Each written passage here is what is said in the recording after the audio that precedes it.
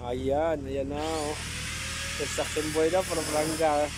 Tagatanggal ng bakal sa loob oh. Pangatlong araw na to. Babalik-balik. Isang, wala sa anim na set, ah, anim na piraso.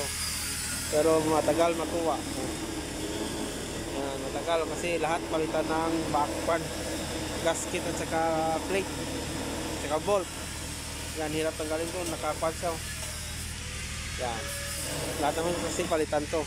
Tatlong araw na to, tatlong araw pabalik-balik sa site. Buti na lang, may screen na. Oh, di ba? May screen na, wala nang init dati. Nung una-una, mainit yon kasi wala kaming screen. Wala kami pang cover. Ngayon, may cover na kami. Oh, Nag-produce kasi di ko kaya ang init eh. Ko makatrabaho. Hindi namin matapos kung walang may screen. Di kaya ang init. Pawis na pawis. Kaya nilagyan namin ng screen. Ayan na oh. Di ba tubig na lang. May baon na tubig. Hmm. Tubig dito marami. Ayan. Di? Pagkatapos niyan, ako na naman palit dyan. Ako naman maglagay ng bolt, magigpit.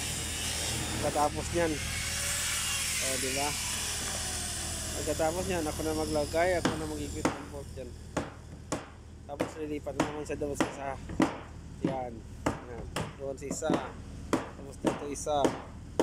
Diba? Yan naman. Iba talaga tong burn. Iba talaga tong uh, deposituan ng CR. Ang amoy tayo. amoy na amoy. Ayan o. Oh. Pang third naman na bike ito. Ayan. Last na to. Matapang na namin to. Diba? Init-init. Okay lang. May hangin pa. Mas malamig ko dito kaysa sa kayma. Doon, gabi ang init dito. Hindi masyado. Hindi nga ako napawisan masyado. oh. Kaso nakatingin lang ako eh. Hindi pa ako nagtatrabaho, may maya ka. Pagkatapos niyan, ako sunod. Ayan. Pag-cutting yun. Ah, sige guys. Patapos na rin siya. Ako na maglagay ng bolt. Ayan.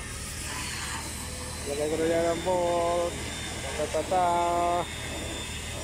Work time. Take care, man.